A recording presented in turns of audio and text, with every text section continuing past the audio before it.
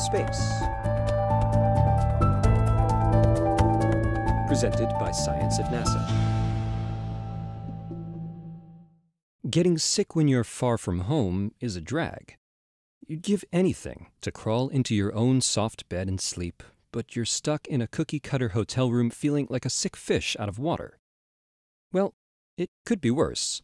You could be an astronaut on the way to Mars, a really long way from mom's chicken soup. Future space travelers will need to stay healthy to perform well for their own safety and for mission success. So it's important to understand how extended space travel will affect them. The immune system works unnoticed to protect the body. But even subtle changes in that all important system may be linked to the onset of illness. Factors like radiation, microgravity, stress, and altered sleep cycles could all affect astronaut immune systems. A new NASA study entitled Functional Immune will investigate the immune system changes that occur in International Space Station, or ISS, crew members.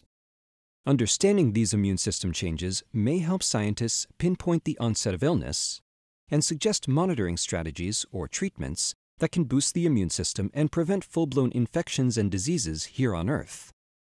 Functional Immune builds upon the results of several previous NASA studies of the immune system, which, according to Johns Hopkins University scientist Dr. Mark Shelhamer, tell us there is no place during spaceflight where we see stabilization of the immune system.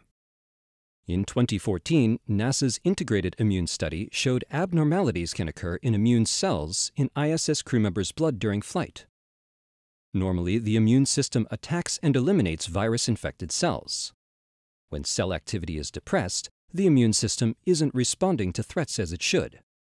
When cell activity heightens, the immune system reacts excessively, which can result in illness, increased allergy symptoms, and persistent rashes. ISS crews were also observed to experience reactivation of latent viruses from childhood, a finding directly related to reduced immune function. The Integrated Immune Team, working with the NASA Nutrition Laboratory, also measured the concentration of cytokines in blood plasma, the proteins that marshal the forces to an infected or injured body site to defend against invaders. The data indicated that changes can be seen in blood cytokines just as changes can be seen in cell function. Dr. Brian Crucian of NASA's Johnson Space Center, or JSC, principal investigator of the Functional Immune Study, says the immune system is very complex, and several aspects of immunity remain uninvestigated during spaceflight. We now need to delve deeper into the immune system changes that happen in space, and also determine if immune changes during flight elevate clinical risks for astronauts in future deep space missions. All the factors that change immunity on the ISS will be worse on longer missions to an asteroid or to Mars. Functional Immune includes NASA scientists and external collaborators at the Johnson Space Center Radiation Lab, the University of Houston, and the State University of New York. The study will reach beyond any previous space immune study and include exciting newer tests such as transcriptomics and proteomics. These tests will happen in parallel with the assessment of immune cells in blood, stress, and virus reactivation. Crucian says with the ISS, we have a unique opportunity to study very healthy people in a quasi-isolation chamber, yet experiencing all the stressors that are specific to spaceflight. Results should help clarify the influence of spaceflight-specific environmental factors on immunity and identify countermeasures to mitigate their effects.